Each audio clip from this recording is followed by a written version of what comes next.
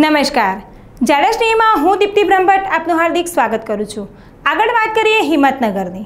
હિંમતનગરમાં English દારૂના જથ્થા પર બુલડોઝર ફેરવી દારૂનો નાશ કરવામાં આવ્યો.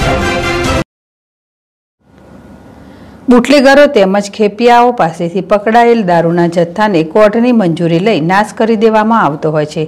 વિદેશી દારૂના ગુનાના અલગ અલગ કેસ નોંધી એક આઈસર અને બે છોટા હાથી ઝડપી પાડી આ વાહ- વાહનોને ડિટેન કરી હિંમતનગર પોલીસ દ્વારા કાયદેસરની કાર્યવાહી કરવામાં આવી હતી.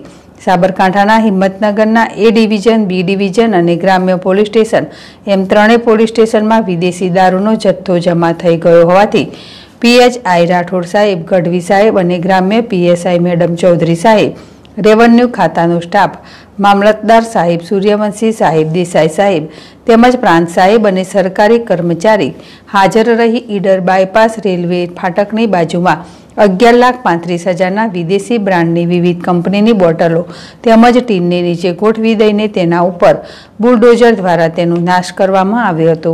દારૂ પર બુલડોઝર ફેરવતા રીતસરની દારૂની રેરમછેલ થઈ ગઈ હતી અને ઇંગ્લિશ દારૂની નદી વહી રહી હતી. તેવામાં હાઈવે પરથી પસાર થતા લોકોમાં કતુહળ સર્જાતા લોકો જોવા ઊભા રહી ગયા હતા. સૈયદ સોયબ, જેડેશ ટીવી, હિંમતનગર.